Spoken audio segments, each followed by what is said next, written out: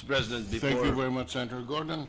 Yes, before uh, I move Sotto. to recognize uh, Senator Zubiri for interpellation, uh, I would just like to um, associate myself with the, um, with the intent and content of the uh, privileged speech of the gentleman. There is one Filipino trait that not too many people know about. We never miss an opportunity to miss an opportunity. May I now move that we recognize Senator Zubiri, Mr. President? Yes, Mr. Senator President. Zubiri is recognized. Thank you, Mr. President. Mr. President, with the honorable distinguished gentleman from Zambales yield to a few uh, friendly questions, uh, Mr. President. The the gentleman from Zambales may yield the floor if he wishes to do so. Willingly, Your Honor. Thank you very much for my good friend and uh, fellow Red Cross. By the way, as the Red Cross uh, delegates are here, I just want to know, uh, you all to know that uh, we have three, or rather four, officials of the Red Cross here. Senator Mick is the Vice Chairman of the Philippine Red Cross. Senator Gatchalian is a board member of the Red Cross. And they all do us proud. And of course, Senator uh, Cynthia Villar is a stalwart pillar of the Las Piñas Red Cross chapter. Thank you. Thank you, Mr. Chairman. Uh, Mr. President.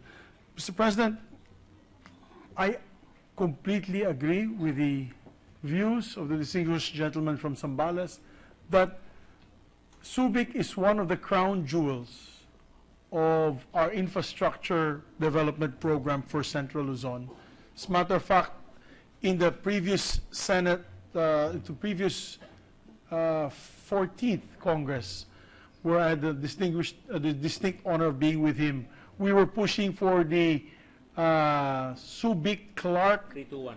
three to one, Subic Clark Naia corridor to develop that particular area. But as you can see, Mr. President, history has shown that Subic grew because of visionary leadership. Leadership, by example, leadership of passion and of um, vision. A man who had plans a man who had not only plans but laid out these plans, Mr. President, Mr. President, without lifting his chair. He's here now in this August chamber as one of the members of the Senate. I want to ask him, because as, as you can see in the in the speech when he had left Subic, it was on a downhill trend from there. How important is leadership to the post of these particular um, GOCCs. Because it's obvious, Mr. President, if you put somebody there, they say if you uh, get peanuts, you or you buy peanuts, you get uh, monkeys. They say. So, Mr. President, I would just like to ask the good gentleman how important leadership is for these GOCCs for it to be able to develop. Thank you, Mr. President. Uh, I'd like to answer the gentleman from Bukidnon. Vision is important because it's better to know where you're going and not know how than to know how you're going and not know where. Mr. President, the problem with our country and the solution must be is that we stop appointing people who just want the title. It is just like us. The Senate President right now on the podium, on the chair, and our current Senate President are both lawyers and I'm a lawyer. There are several of us here. I used to say we have 49,000 lawyers, probably more today. Everybody wants to be called attorney, but we have no justice. Same thing. People want to be chairman of Subic because it is nice. Chairman, sikat, meron kang hawak na tao. Pagkakataon. At kung gagamitin niya yung ganun, eh talaga walang mangyayari. Kung walang vision, walang driving force. Kung walang integrity, hindi ka susundin.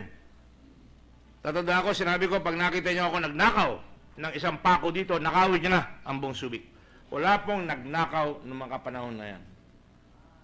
May nagatempo pumutol ng kahoy, tao mismo ang nagsusumbong pagka pinuputol po yung kahoy. So people have to own the vision. People have to have or share the vision. As I used to say, shared vision, shared values, shared sacrifices, shared triumphs.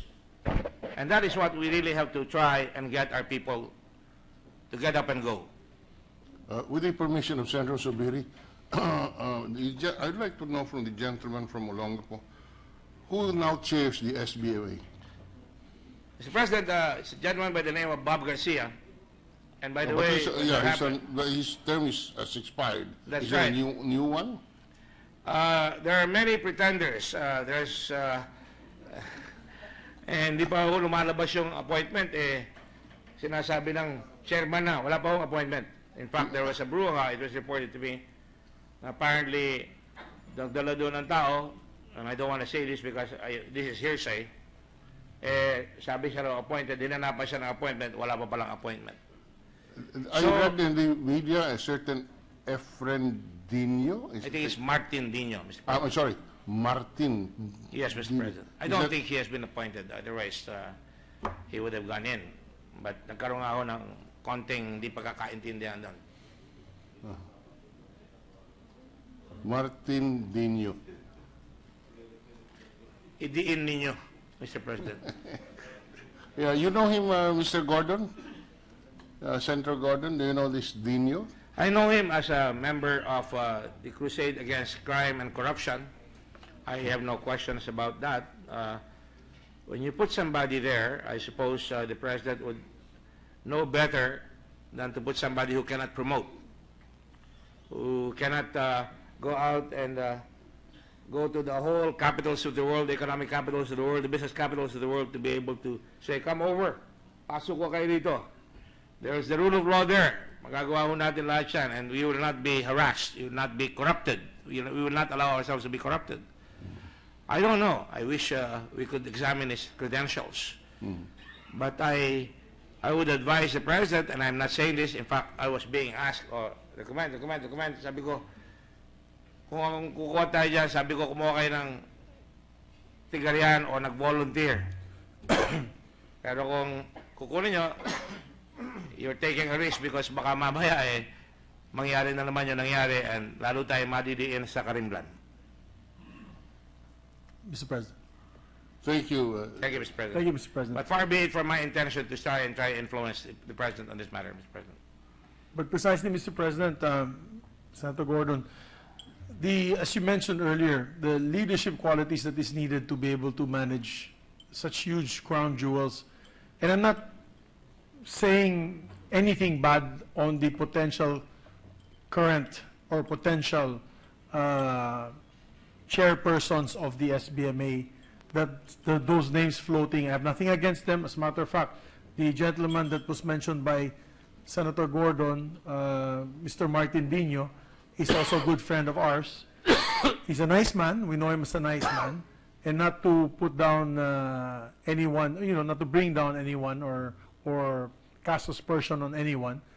We just I personally, Mr. President, would like to see a, mo- a professional running Subic. You know, Subic is sort of like, and, and the good gentleman could correct me, Subic um, is an eco zone. It's one of the three, only, I three or four eco ports, zones, free ports. free ports in our country. It could be marketed as Macau, Singapore, Hong Kong. Or Hong Kong.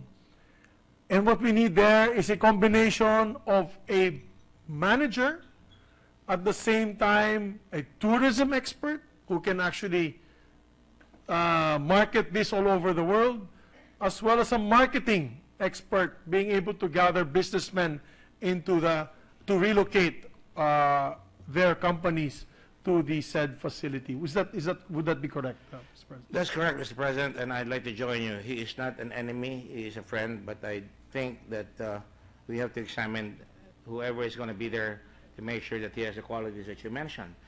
Mr. President, an airfield does not an airport make. An active airport means you have a good airport manager. He must be able to attract the flights. You probably have to start again with charter flights para masanay. He has to fix up Subic to make sure it's attractive for tourists. He has to fix up the investment climate to make sure there's no corruption.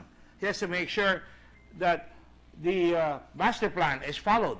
Because if you do not do that, Mr. President, nobody's going to go in there. Kala natin just because we have an airport and a seaport, swak na. Clark is also the same way, Mr. President. The speech today was meant for Subic and Clark, learning from the lessons of Flying Point and other missed opportunities.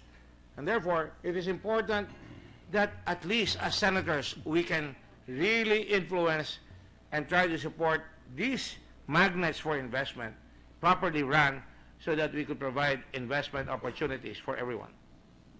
Yes, Mr. President, I could clearly recall when I was uh, a younger gentleman in the 19, mid-90s, when uh, Senator Gordon was still SBMA chair uh, and, and head, all of us wanted to go to Subic. Subic was the hottest uh, uh, spot to be in in uh, Luzon as a tourist destination, as a shopping destination. I remember they used to have a lot of uh, um, what, what do you call those uh, when you go shopping the uh, outlets, outlets, duty-free outlets, and even food. Uh, when you wanted to eat a good, a great cheeseburger, uh, fast food, American fast food, we'd go to Subic, bowling. I remember they had a fantastic bowling uh, facility. Uh, Subic Bay Yacht Club was still brand new. It was really the in place to visit at that time, uh, Mr. President, bustling with so much activity. And it saddens me because I was there recently uh, to buy uh, a truck at the auction because they have an auction now. I think that's the only thing that really is going on for Subic in the newspapers is the uh, quarterly auction of trucks and buses and, and vehicles. And I was so sad to see, Mr. President, uh, the ghost of, of its past, of what it used to be in the past. It's, it's, it's really sad, and, and um, I never talk about it with my good chairman of the Red Cross and my good, my good chair, uh, Ninong, because uh, I know it, will, it makes him sad to hear these kinds of comments. And I'm hoping that with this new administration, Mr. Chairman, Mr. President, that um, we want to achieve inclusive growth. The way to in- achieve inclusive growth is to be able to make more centers of progress outside of Metro Manila. We are toiling in and out of this traffic four or five hours a day. Obviously, the carrying capacity of Metro Manila is too uh, heavy already for the, for the city, or, or the carrying capacity of the city is too much already uh, for, for, for its population. And therefore, we have to look outside of Metro Manila, Mr. President. And in the 90s, that was the way to go. I knew many friends who bought houses there who said, I'm going to live here and put up business here. Now, when I talked to them, they said, well, you know, ninakawan na yung bahay namin, pinasukan na. Yung wala nang masyado kami nakikitang plans and vision and development. So they moved back to Metro Manila. Um, would the gentleman agree with me on that point that really what is needed is visionary leadership, a man who can market Subic, a man who can put this all together, run it like a uh, tight ship, uh, and and make sure that there's no smuggling. Because, Mr. President, one thing that is also very lucrative in these free ports is the issue of smuggling. Because if you are corrupt, and uh, I'm just saying, if you are corrupt and you have a corrupt mind, you get into Subic, that's where you get all sorts of shena- shenanigans that could happen. Smuggling of sugar, smuggling of rice, smuggling of uh, meat products that could come out of the gates of the free port. That has been an issue many times over when the good gentleman was no longer in SBMA. I remember there were several investigations of that effect. Would the gentleman agree with me? That is correct, Mr. President. Uh, Just as an added anecdote, you claimed, uh, you said that uh, you played in the bowling lanes. There's a story to that, Mr. President, and I'd like to share that with you. When the Americans left, they were very bitter. They took out the bowling lanes. Tinanggal po yung bowling lanes. I went up to Washington. I was dealing with the World Bank at that time. Pumunta ako sa State Department, nakiusap ako. Alam niyo, sabi sa akin ng Amerikano, kala niyo, porque Amerikano ang tatay ko na mistizo or pangalan ko Amerikano, maka-Amerikano ako. I'll share this story with you. And, you know, I said, can you not leave the, uh, can you leave the bowling lanes? Sabi niya, you know, Mr. Mayor, mayor pa ako doon eh. Sabi ko na, kung nung araw nandiyan ang Amerikano, aba eh, apat na abogado kagad sa State Department, apat sa Defense Department ang pupunta dyan para tulungan kaya. Talagang nagingiting aso eh. At ang sabi niya, you're no longer the top 10 of the hit parade. You used to be top 6. Ang basa ninyo. Ngayon, wala na. So, Mr. President, sabi ko sa kanya, well, sabi ko gano'n, eh, wala pala tayong mangyayari dito, alis na ako. Sandali lang, sabi niya, you may want to meet some people like Steve Solarch, kaibigan mo yan. Sabi ko, wala na. Hindi ko na po kailangan yan. At, ah, di ba sabi niyo, wala na kami sa top 10 of the hit parade. Eh, huwag ka naman magalit, sabi na, in English, of course. Hindi, sabi ko, tatayo na ako. You'll hear from me. Tapos sabi sa paalis na ako sa pinto, sabi ko, ah, meron nga pala ako kung kailangan makausap. Sino yon? Sabi ko, si Mr. Brunswick. Sino yung Brunswick? Wala kami senador o congressman na ganyan or governor. Hindi mo kilala si Brunswick? Amerikano ka, kako. Yan ang nag-invento ng bowling lanes doon. And sabi niya, and that, my Mr. Mayor, will be the last uh, hit. No, you'll hear from me. And I will prove to you. And that, we did make the most beautiful bowling lane in the country at that time. Umiilaw yung bowling lane. May kumuhang private sector investment dyan.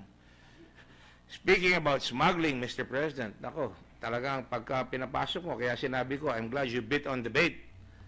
Parang pinapasok mo yung sawa sa poultry. If you allow somebody who has no integrity, talagang lilinggisin lahat ng mga manok dyan. And that is why we have to be very careful. We have to tarry a little. Now, Mr. President, can you imagine, if we go back to the slide, natatandaan ni Mick Subiri, ni Senator Subiri in 321, Subic, Clark, Manila, at dalawang seaport, tatlong airport yon. Subic and Manila. Dinagdagan ko na po yan ngayon. Apat na seaport, ang sa file ko, Subic, Mariveles, Seaport of Manila, and the Batangas Seaport.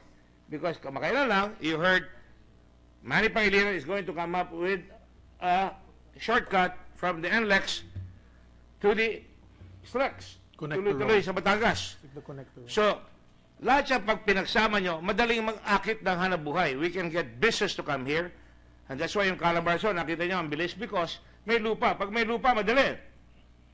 Ganito ang, ganito ang lupa dyan. Sa atin sa Bulacan. Ano, ito, ito ang square meters. Kaya nga, pati nga ho yung Iglesia ni Cristo, tuwan-tuwa ako, nung nagtayo sila ng Bukawi ah, Arena, Philippine Sports Arena. At kako yan ang umpisa. At mantakin nyo, Mr. President, right away, Ayala came into Bulacan. Ayala went into Porac. They bought 4,000 hectares. Yan ang umpisa. Kaya kailangan, suklian natin ng mahusay na infrastruktura at pagmamaneho nitong lugar na ito. Hindi dahil kami tiga Central Luzon or tiga Northern Luzon. Lalo na, meron po akong file bukas na gawin na yung railroad na mas madali. Imbis na Manila to Pampanga, eh wala ho tayong right of way problems doon sa Subic to Clark. Pag natapos yun, nasimulan, mas maikli, mas madali magawa, baka sumunod na ibang railroad doon from Manila to Clark. And because of that, lalakas ang hanap buhay. That is why it is so important. Kita naman, ho, hindi, hindi ako nagyayabang dito, hindi ako nagbasa sapagkat nasa puso ko po yung sinasabi ko at saka sa isip ko eh. Hindi ko po kailangan na isipin pa yan eh. Pero I am doing this because let us not miss this golden opportunity once again. And you can do this in, in Cebu. You can have two airports in Cebu. Siksikan na yung traffic doon. Mr. President, in Negros Island, kailangan natin mga taong ganyan eh. Si Mayor Pijong, ah, Kabangkalan. Kabangkalan, Mayor Psycho. Mayor Saiko, he is doing his own. Can you imagine that? Gentlemen and ladies, gumagawa siya ng sarili niyang runway. He got land, he's doing the runway, and I have it in my mind, really, I'm sure Senator Dilo will support him. Pag, pag napakita na yung plano, you could have at another airport that will service Negros Oriental and of course Negros Occidental. And look at the plan of the Senate President. Di sa pinalalaki ko ang, pinatataba ko ang puso ng Senate President. Yung Iloilo Airport, lumakas ang Iloilo. Nasundan nung ginawa niya na mga highway na 10 lanes. Nasundan ng mga magandang ilog, ng magandang convention center. That is the way. You complement your infrastructure with investments. And that way, it will pave the way for jobs, for opportunity. And not just jobs, well-paying jobs at sustainable, Mr. President. Kung walang airport, aalis yan. Kung walang seaport, aalis yan. Kaya makita ninyo, Naku po, ayaw ko, hindi ko pa bubuklatin po yung tourism. Bumabaksak po tayo sa tourism ngayon dahil sa mga reputational damage na naganap dito noong nakaraan. Eh huwag na ho tayo manisi. Let us fix the problem. Let us not fix the blame. Take that in that spirit, please. Because we're not here. Ano pa mangyayari? Ginawa na eh. eh ayusin na lang po natin. Katulad ng ginagawa ng mga nasabi ko mga tao, sila Pidio, sila Fra- uh, Frank Dillon, marami po yan, yung mga naghangarap na magawa lahat yung mga pangarap na makakapagpalakas ng ating bayan. Thank you. I agree with the good gentleman on the observation of uh, the development in Iloilo. That is why the good Senate President Pro Tem was awarded the Grand Cordon of the Order of the Rising Sun. Sa galing I, niya I po. wanted to be sure I heard it right, baka yakuza eh, pero hindi naman yakuza eh. Ano ka? pero okay, okay. We should be happy that our our colleague and has worked hard is respected by other countries. Yes. Well, that's it, Mr. President. Um, Majority Floor Leader, uh, I thank the good gentleman for bringing this issue up. I just, I just really hope and pray that the new administration can really choose wisely when it comes to the management and operation of the Subic SBMA as well as Clark. Because these are, as I, I always say this to everyone who asks me, these are the crown jewels of Central Luzon, or the development of Central Luzon, and the decongestion of Metro Manila. Pahabol lang Mis- po, Mr. President. Mismanaged, Mr. President, uh, God save us, and, uh, and I think it would be such a wasted opportunity. You remember, Mr. President, that uh, we had Mariveles Freeport Free Trade Zone. Matagal na matay yan. Dinibate natin mahaba dito. Ang tagal nag- nag-interpolate ni President Aquino. Ah, dito, natandaan ko, andyan ako, nandito si President Aquino. Senator Aquino. Ang dami nag-interpolate. Lahat, halos. Senator Enrile, ayaw niya ng una. Nung magawa na po yan ngayon, aba, ang dami ng mga nagtatrabaho doon. May coach bag doon, ginagawa, about 6,000 employees. Naglalabas na sila ng mga bahay doon sa labas. Tuwan-tuwa yung mga tigabataan. Kaya kung may manghusay na magmamaneho, marami tayong makakalap na hanap buhay. It's important, Mr. President. Thank you for the opportunity, Mr. President, to ask. Mr. President, Thank you before, very much, Senator Gordon. Yes, before uh, I Senator move Sotto. to recognize uh, Senator Zubiri for interpellation, uh, I would just like to um, associate myself with the, um, with the intent and content of the uh, privileged speech of the gentleman. There is one Filipino trait that not too many people know about. We never miss an opportunity to miss an opportunity. in the previous Senate, uh, the previous uh, 14th Congress, where I had the distinguished, uh, the distinct honor of being with him, we were pushing for the uh, Subic Clark 3 to 1. three to one, Subic Clark Naia corridor to develop that particular area. But as you can see, Mr. President, history has shown that Subic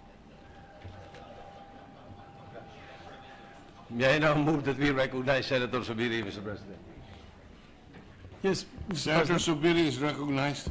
Thank you, Mr. President. Mr. President, with the honorable distinguished gentleman from Zambales, yield to a few uh, friendly questions, uh, Mr. President. The the gentleman from Zambales may yield the floor if he wishes to do so. Villar At this- at is a stalwart pillar of the Las Piñas Red Cross chapter. Thank you. Thank you, Mr. Chairman. Uh, Mr. President. Mr. President, I completely agree with the views of the distinguished gentleman from Zambales that Subic is one of the crown jewels of our infrastructure development program for Central Luzon. As a matter of fact, Willingly, Your Honor. Thank you very much for my good friend and uh, fellow Red Cross. By the way, as the Red Cross uh, delegates are here, I just want to know, uh, you all to know that uh, we have three, or rather four, officials of the Red Cross here. Senator Mick Zubiri is the Vice Chairman of the Philippine Red Cross. Senator Gatchalian is a board member of the Red Cross, and they all do us proud. And of course, Senator uh, Cynthia